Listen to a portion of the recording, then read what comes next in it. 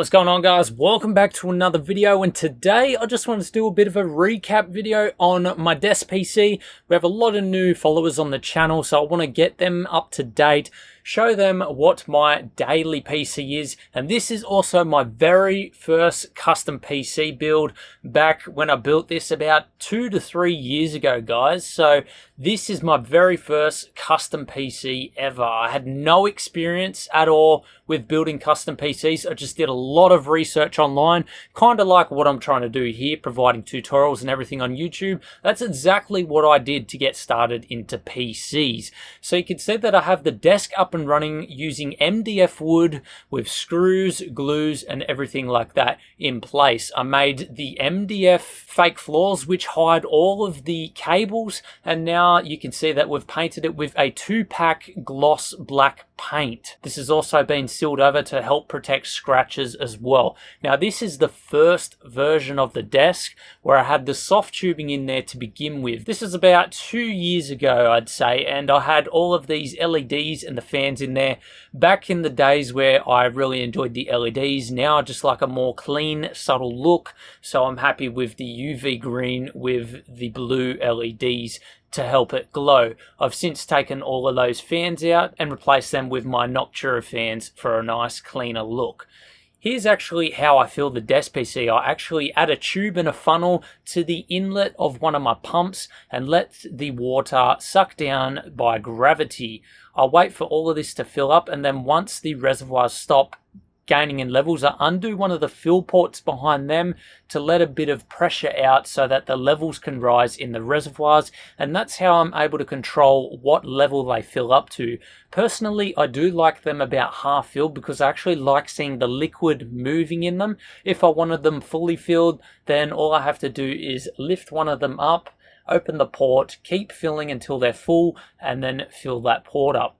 Here's some of the liquid going around the tubes and this particular version that you're seeing at the moment was actually the desk PC before my final upgrade video which I showed you guys probably three months ago. At the start of the year I believe it was. So there has been some slight changes since then. For instance some hardware upgrades and of course some new tube bends I took some of the GPUs out and replaced them with two 1080s for a full upgrade and of course cleaned it up a lot more. I also had a couple of fans that were loose so I got all of that fixed up and I'm going to explain a bit about my desk PC right now so I hope you all enjoy. What's going on guys? I hope you all enjoyed my setup. This desk PC took me around six months to build on and off obviously with a full-time job so that's mostly working on it on weekends and afternoons. The whole whole front panel of the desk is dedicated to fan control, LED lighting, and we also have a car head unit in place. So what I'm able to do is pair my phone with this and I'm able to receive Bluetooth phone calls, sort of like hands-free in a car, um, through the desk, which is another Pretty crazy feature about this desk. Also have two 12 by 6 inch speakers, one on either side of the desk at the sides. So I'm able to use this two channel car amplifier, which is inside the desk to listen to some beats through those speakers. The two four inch speakers, which are on top of the desk, are also car speakers and they are hooked up to this car head unit down below. But that's not the only audio we have. We have a 7.1 surround sound system with our Logitech gear over there there. We also have a Focusrite Scarlett audio interface for our Audio Technica headphones, which are hanging up there. The microphone here is an Audio Technica AT2020. I use that when I'm doing my gameplay and talking to people in TeamSpeak and things like that. And for my general voiceovers, I normally use a Sennheiser MKH 416 shotgun mic. So what has changed since the last update video? Well, we have some new liquid cooling tubes inside. I've rebent this one at the back. It's more hidden underneath now. I also have a new tube route going from the CPU to the first hard drive. And that is because we got a new motherboard, the MSI X99 Carbon Godlike motherboard. We also have four sticks of Corsair Vengeance LED RAM, and two MSI GTX 1080s in SLI. Down the bottom here, we do have our custom SSD plates, which we made in a previous video a couple of weeks back. And all of our fans are Noctua fans for the best possible cooling potential. We do have UV green and black sleeved cables, which is why they are also glowing from the UV light within the system. We are able to control the different colors of the light with our remote system. We can turn it on and off, have them flashing, fading, we can have it going to music, and many more options. Yes, the hard drives are liquid cooled. They have a water block on them. This is more for aesthetics. They don't need to be liquid cooled.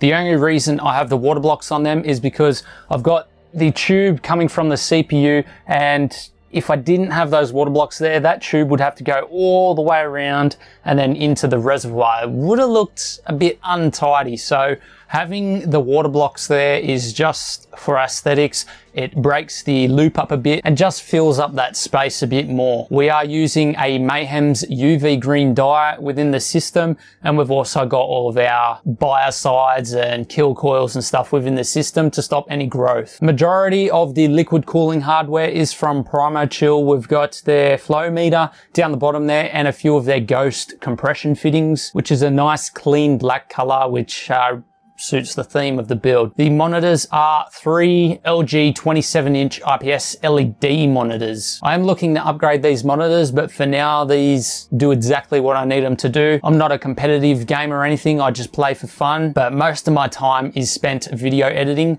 I actually have another monitor in for RMA at the moment. So the main display in the middle will get replaced once that returns. The desk is all custom made. I made this about two years ago, the first version. It had soft tubing in it to begin with, but now I think it's a much cleaner design and I like where this desk is heading and I'm gonna keep it growing throughout my growth on YouTube as well. So I, I sort of see this project as a centerpiece for my YouTube channel and something that I can grow off of as well. The desk is 1.5 meters long 0.8 meters wide and the desk sits around 0.77 meters high. The box at its thickest point is 0.22 meters in thickness. This is a strengthened safety glass on top so I don't have too much worries. If I uh, am in some really serious gameplay, I gotta try and refrain myself from actually smashing down on the glass. Now, I know in my other videos, a lot of people said that the glare might be an issue while gaming, but to be honest, I can't even see the glare reflecting onto the screens. And in your peripheral vision, yes, you can see it, but I do have switches to turn all of the lights off. So it makes it nice and easy and you can have it suit your personal preference if you wish. You can dim the lights, you can fade the lights, you can do whatever you want. You can turn the lights off. You don't have to have any lights on at all. The CPU is an Intel 5960X. We're gonna probably upgrade, not this gen, maybe next gen. We'll just see how everything pans out and what the speeds of the new CPUs look like.